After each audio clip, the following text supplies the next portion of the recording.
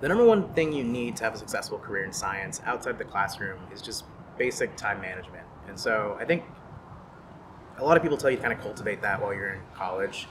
Uh, I'm still struggling with it. I know a lot of other grad students and beyond who are struggling with it. You need to learn how to uh, be your own master. Motivate yourself, console yourself, uh, pick the pieces back up, and keep going. All of those things that other people might have done for you in the past, that's all up to you.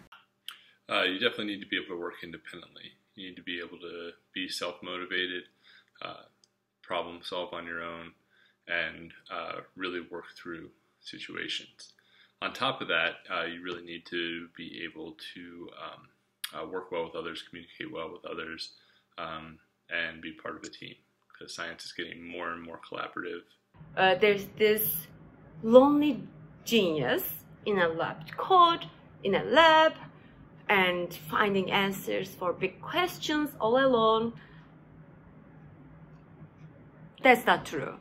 Science is a collaborative effort. Science, like a lot of other uh, areas of interest these days, requires knowing people and putting yourself out there often. That means, aside from just being good at what you do, you need to be able to tell people that you're good at what you do. This doesn't come naturally to a lot of scientists, but sometimes you need to be your biggest cheerleader. This is really important for moving up the science food chain, whether it's your grad school application or a job interview or a research grant proposal. You have to know how to confidently and effectively toot your own horn. There will be lots of no's in science, and that doesn't mean that anything you've done is wrong. It just means that it's not the right fit or that there's someone else who is a better fit or that just like chance wasn't in your favor. Um, and you sort of have to keep going even when you hear no. Um, so I think you just need to know no is going to come and that doesn't really mean anything about you.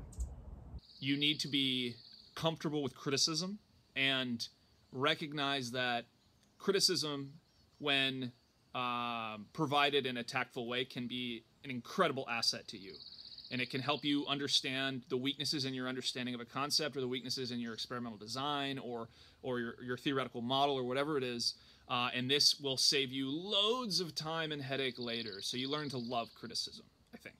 Most of us do. Because you never know in science what is going to be thrown at you i guess whether you're in the field or in the lab or um, maybe it's even some some other issue. Um, you just need to be able to overcome those things and, and keep going. And believe in yourself. Believe that you are a scientist.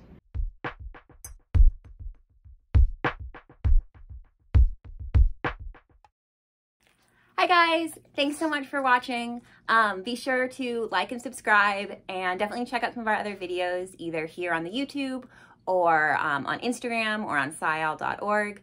Um, we look forward to chatting science with you next time.